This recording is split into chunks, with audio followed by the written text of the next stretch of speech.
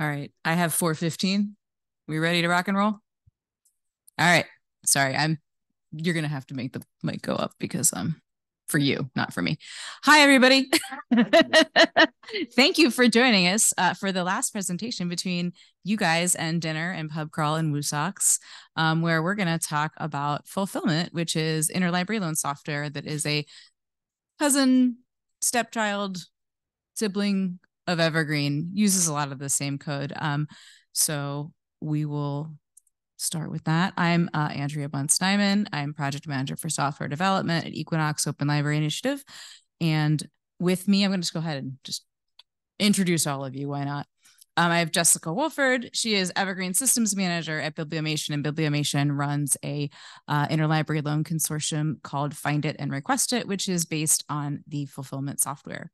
Um, also, Mike Rylander, Research and Development Manager at Equinox and um, person most at fault slash responsible for fulfillment development currently. Um, by which I mean, thank you, Mike, for helping us keeping to keep making it better. And then Rogan Hamby, um, data and project analyst at Equinox who does a lot of the um, data work and kind of scripting and um, support side stuff related to fulfillment. And he's got all the social medias. So there you go. Um, for those of you who aren't familiar with Equinox, uh, in addition to Evergreen and Fulfillment, which we're talking about today, here's a listing of some of the other products that we support and are working on software development, hosting support, all that. But that's not what we're talking about today. So without further ado, I'm going to hand it over to Jessica to start talking about Find It and Request It.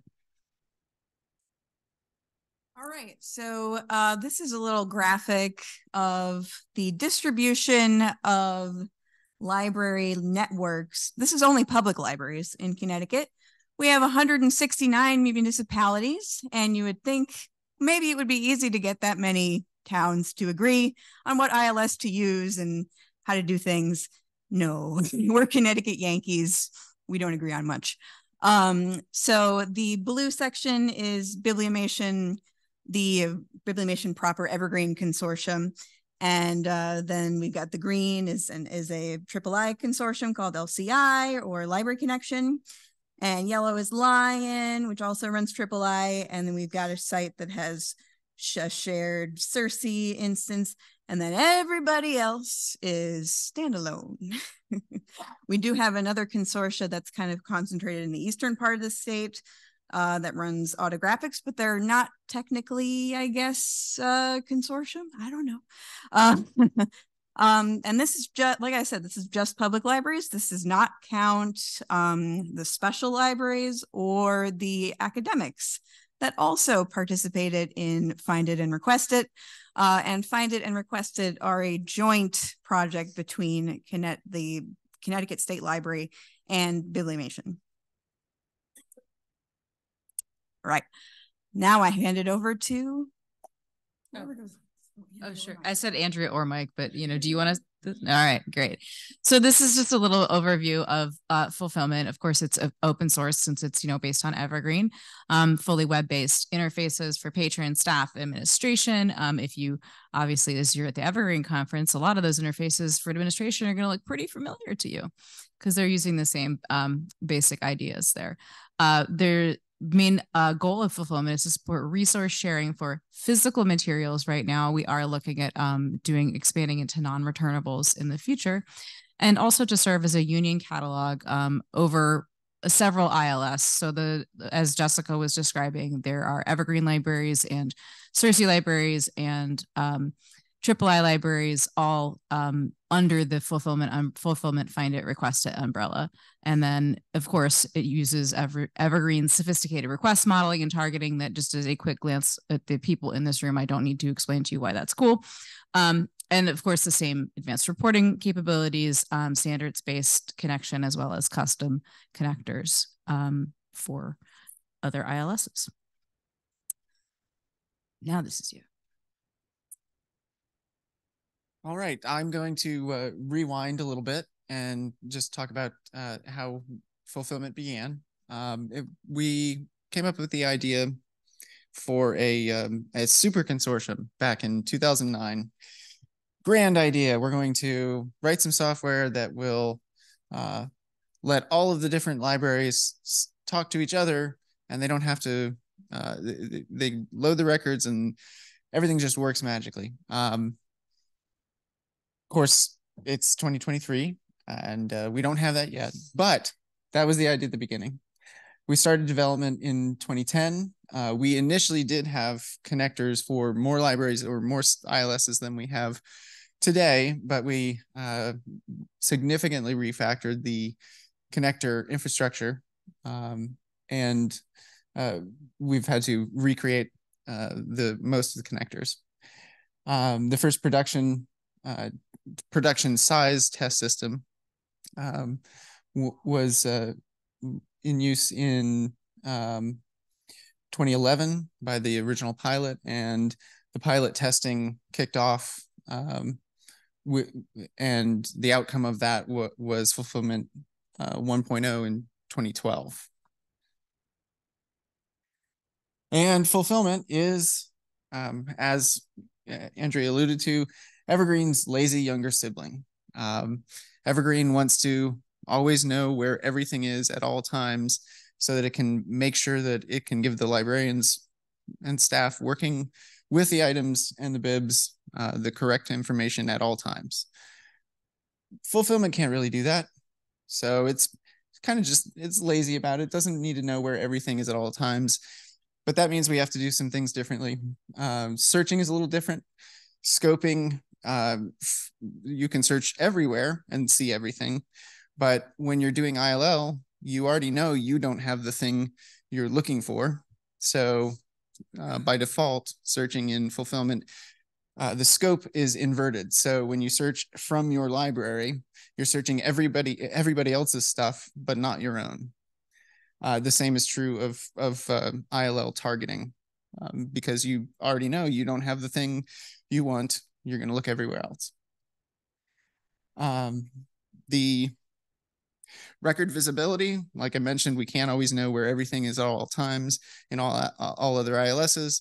So the record visibility for search purposes is based on uh, the owner of the record that supplied it, um, as opposed to uh, the status of the item or items attached to it. And uh, you can exclude, this is a slightly slight difference from Evergreen. You can go in and actively actively exclude specific records for a specific uh, request, ILL request, or for all ILL requests going forward uh, for all time until you say allow that copy back in. but maybe it's not lazy. Maybe it's generous. Uh, the uh, org unit proximity code in Evergreen was originally developed um, for fulfillment. Uh, that was to allow adjustments between networks to say these networks are weighted more heavily than others in relation to their neighbors and things like that. Uh, Evergreen has that now, and there are a couple different iterations of tools that allow you to model your courier networks um, using proximity adjustment now. Um, excuse me. The fulfillment uh, ILL management interface that exists to this day was actually the very first Angular JS interface to touch evergreenish code. Um, Bill, that's what I was talking about. So Bill is, even though Bill um, is oh, an exclusively an evergreen developer. He did write the he did write code that um, uh, became the or he wrote code for fulfillment that eventually became the forefather of Evergreen's uh, web staff client. And there are other things that fulfillment may be able to share in the future. We are looking at some options that will benefit ILL in particular, but probably would help with things you might want to do in Evergreen, such as multiple fingerprints per, per bib record, uh, enhancements to queued ingest. Qt ingest is great. Fulfillment doesn't have it just yet, but when it does, we'll probably want to be able to do more advanced stuff with the um, queued ingest because we're ingesting a lot more records in fulfillment than we do in Evergreen.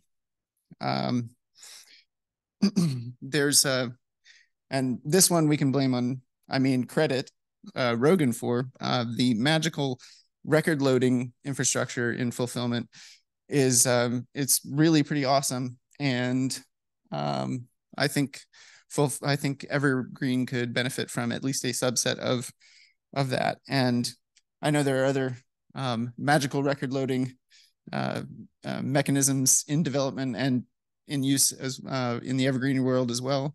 Uh, but this has a little bit different bent on it. Um, and uh, the aforementioned item level um, targeting exclusion that fulfillment can do could probably be beneficial to Evergreen as a way to say, hey, we're not going to lend this item out for now or for that specific request. It's me. And now handing it back to Jessica. So um, this is my cat when she was a kitten, uh, and she doesn't really have much to do with fulfillment at all. But um, you know, she's just kind of here as a representation of the the early days when we were young and full of hope. um, that's not a dig. Um, so uh, just a little bit of a of a history about how things unfolded for uh, Bibliomation, how we got, how we in the state library got involved in using fulfillment and starting up Find It and Request It. Um, in 2014, Equinox hold, held a webinar uh, showcasing this new product called Fulfillment. Unbeknownst to us, uh, Bibliomation staff attended that webinar, as well as the Connecticut State Librarian, Ken Wiggin, and um, in the next, the following year, um, Ken Wiggin, the state librarian, approached our executive director, Carl DeMilia, to ask if this system was something that he could support, knowing that we already ran Evergreen and that fulfillment was based on Evergreen. He wanted to see if we could support this on a statewide basis. And so he asked that question in March of 2015. And in April 2015, we were able to give to, to say, yeah, we can we can try and do that.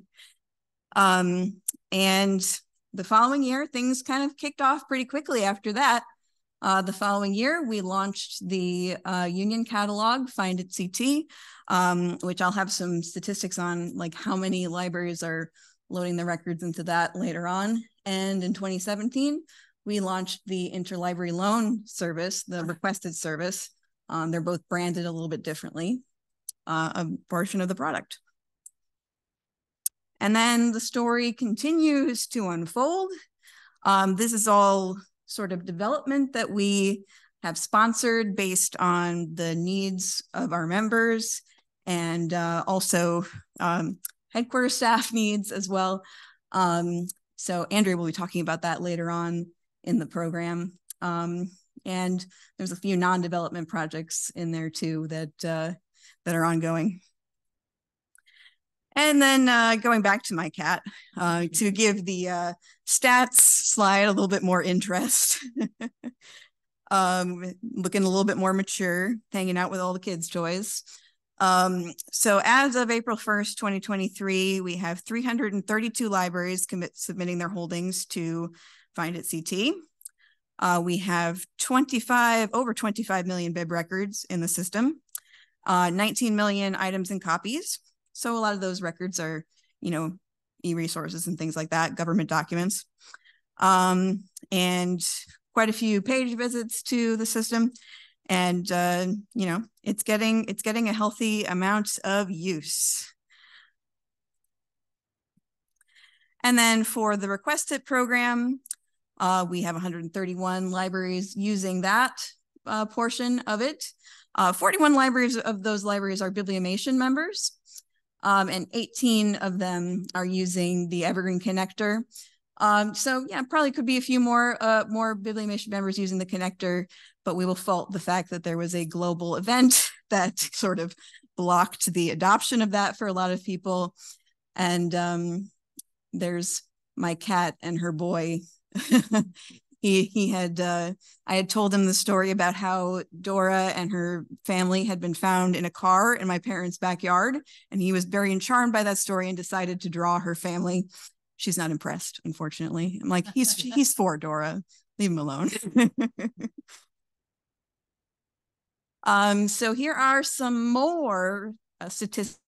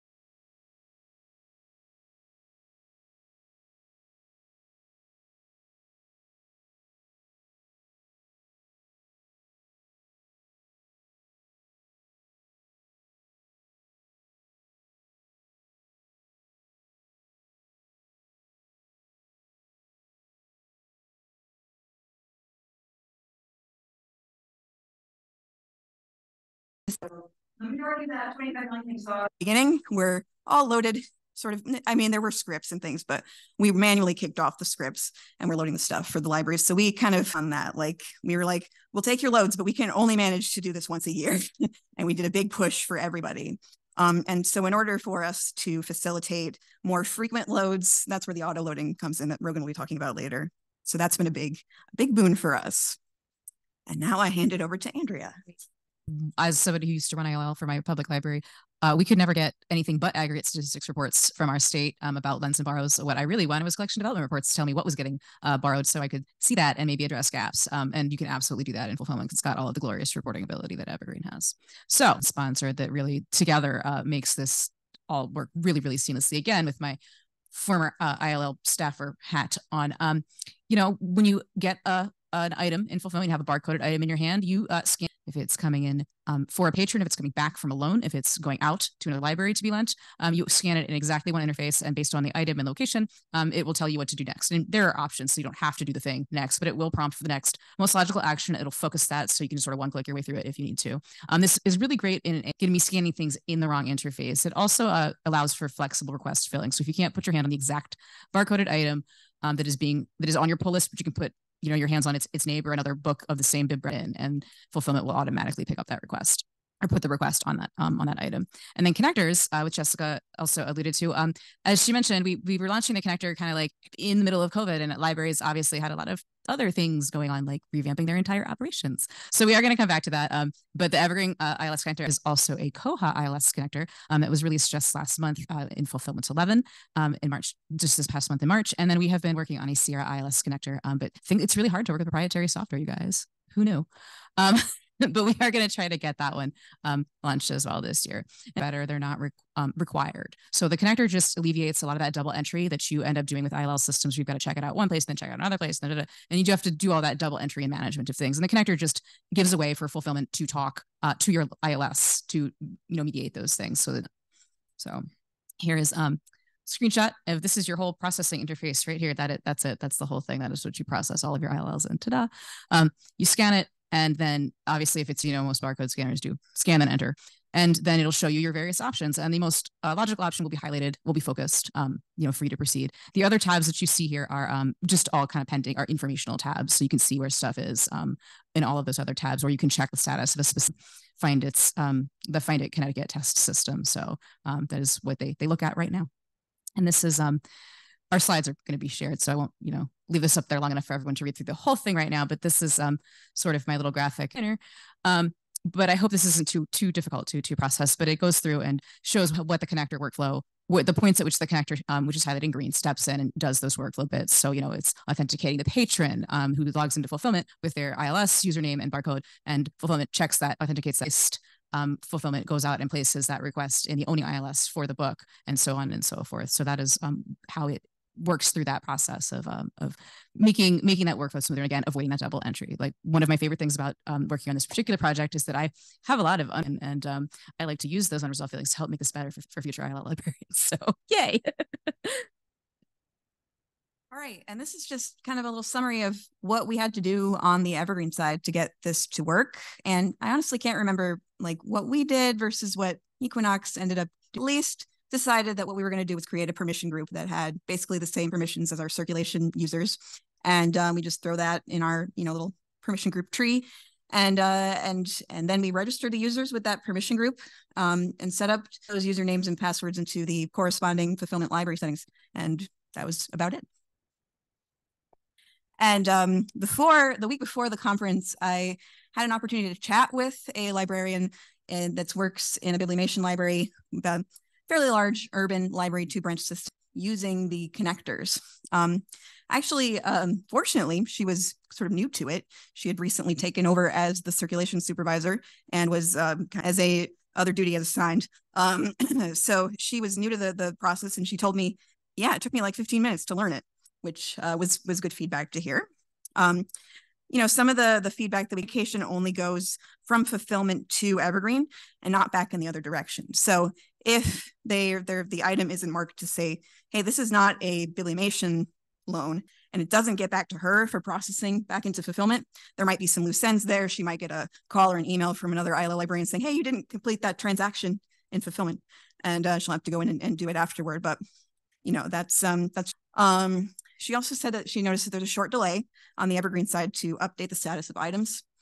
Um, and uh, for loaned items, this is something I just kind of pulled out adjusted to add the last name, which for us is the name of the library um, of the ILL or, or the name of the ILL user account so that that alerts the staff, oh, this is something that needs to be pulled. And so that's what that is. Magic Okay, magic biblo time. But I'm actually going to start with a tangent because I can't help myself on this one.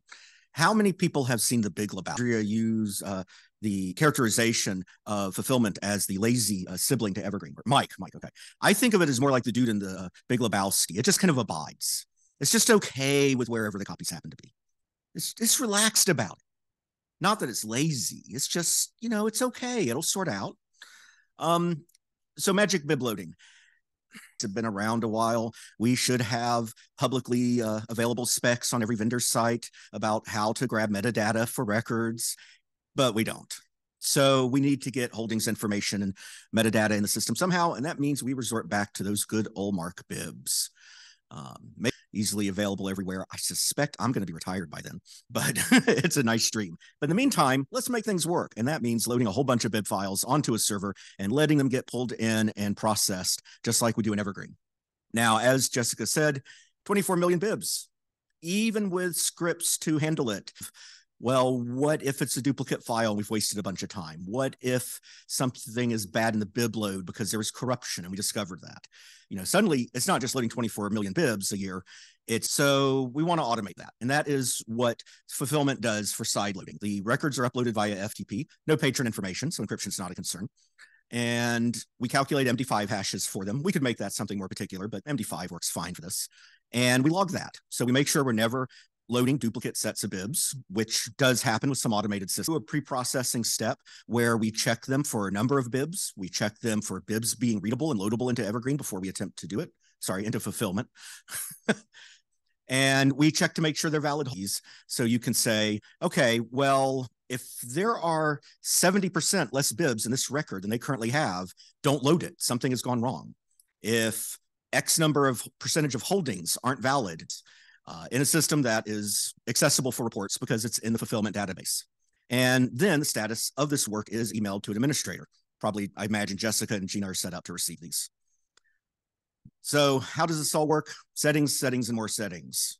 Org unit settings, we love them. YAOUS. And because it's all built on top of Evergreen, we can use ancestor-based settings just like in Evergreen. So you can just set them once for the whole system and not worry about it if you wish. Uh, variations, I'm not going to go through all of them right now, but if you have experience with things like Triple I likes to not have a distinct field for their location, their actual branch, but adds it as a prefix on their shelving locations, yes, this accounts for that kind of thing. And I already talked about the threshold. So if it's a stock symphony load, you can just put in the org unit settings that it's a symphony library and it just works. But if it is a new source from somewhere, granularity to go in and say, okay, it is the, for some reason, they're using the 847, they're using the G for the barcode, they're using a subfield zero for the library name, and you can fill all that out in detail if you need to. Now, the future, hopefully gone, and we can actually just use connectors for all this. Only Koha and Evergreen will be left. be the change you want to see, everybody. All right. So wrapping things up a little bit here, um, I wanted to talk about some uh, additional other recent development that we've have planned here. So uh, most recent major versions, I referred to fulfillment 11 earlier, which was March 2023, March 2023, i.e. last month. Um, and then fulfillment 10 was in June 2021. And that's what gave us um, the connector launch that uh, that the Bibliomation libraries are now using. And the where I say baseline, um, that is the version of Evergreen that is underpinning um, fulfillment. So uh, as of 3.6, um, all that goodness, as of uh, fulfillment 11, you've got everything um, from baseline 310, which includes uh, things like simple reporter and stuff like that. So you can make those available as well. Um, some highlighted development there is on the right, um, single scan which I showed you earlier, um, 2019. Also with that was um, something that Mike alluded to that might um, be beneficial. What this does is when you uh, scan or you get a copy on your pull list, um, you're looking at your pull list in fulfillment and you're like, you know what, I'm actually not willing to lend that out on ILL, um, this specific copy for whatever reason. You can just say, no, I'm not going to lend that um, just this one time, and then the request will go back out um, into the sea and find a new copy.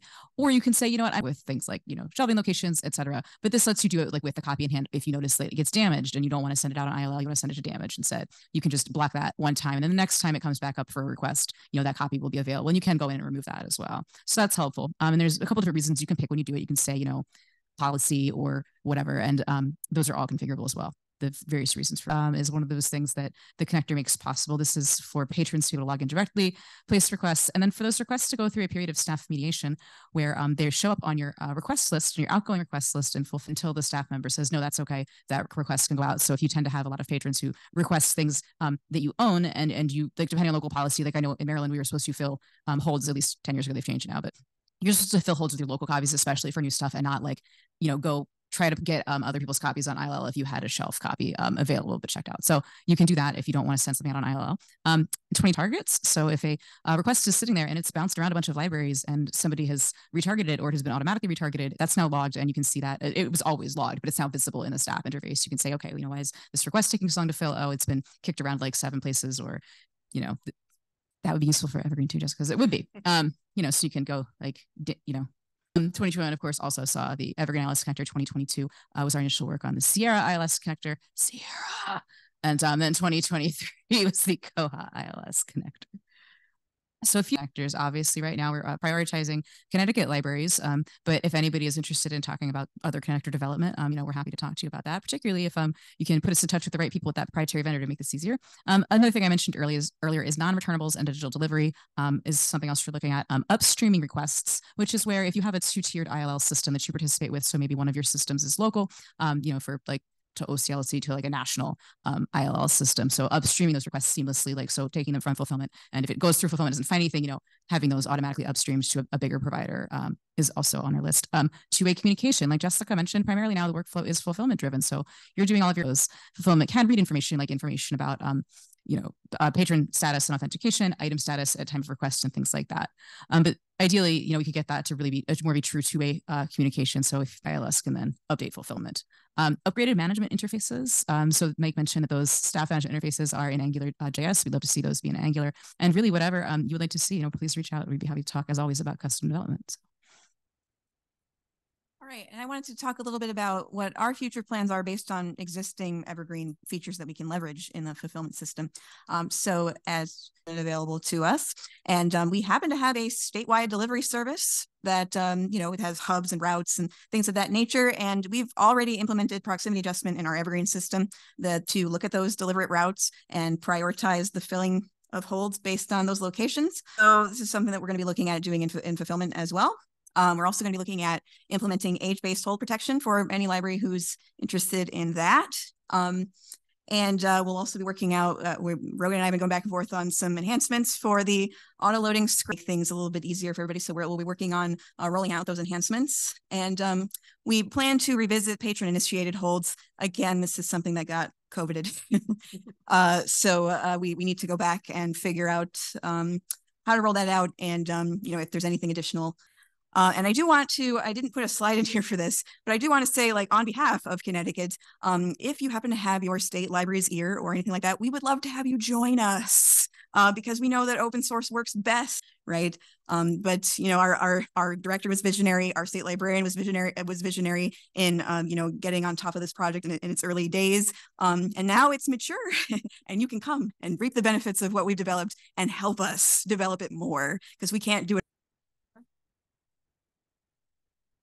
And we don't have much in the way of time left, but if you have any questions, comments, things you want to share about your own ILL, floor is open.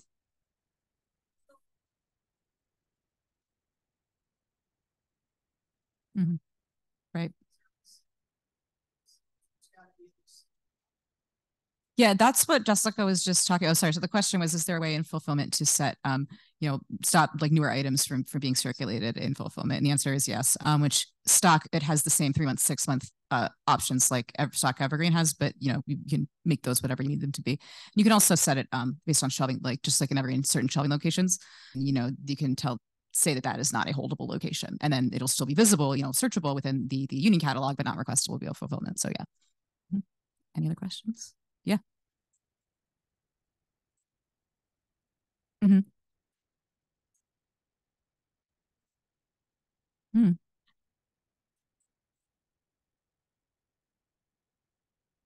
autographics and fulfillment talk to each other? Not like seamlessly right now, but there are standards um, that can be leveraged to make them talk to each other.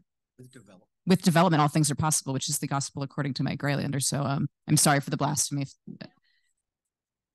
Yeah. You could. Yeah. Um, you know, that we, we would it's probably upstream that autographics can um, send out to fulfillment and then you know bring that information in and making it a fulfillment request or the other way around. So if you guys you know wanted to participate if that consortium wanted to participate you know via autographics um, that data could probably be magicked in there right? Yeah autographics has several ways to send and receive xml data about holdings. So uh, so development development development. Uh, how much development we'd have to investigate first. But yeah. Follow-up that, there's a, as I said in the beginning, there's actually a, quite a large uh, autographic ILS presence like the own system as well. If that connector gets developed in the future. It's something we would want to get information from autographics yeah. on and see the specs from them about what they can share on the technical side. And but how close definitely maybe. that is good. yeah, but now I want to see the timeline if they still are interfaces. Oh, I think that means we need to update the, update those interfaces then. Mm -hmm.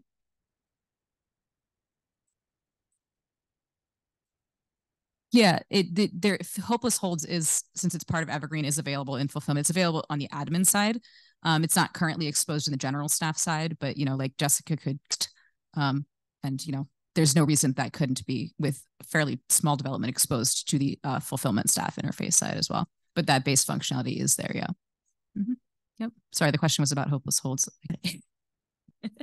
Anything else in our last uh, 30 to 60 seconds here? No. Everyone looks very tired. I'm, I'm sympathetic. All right. Well, thank you very much for your time.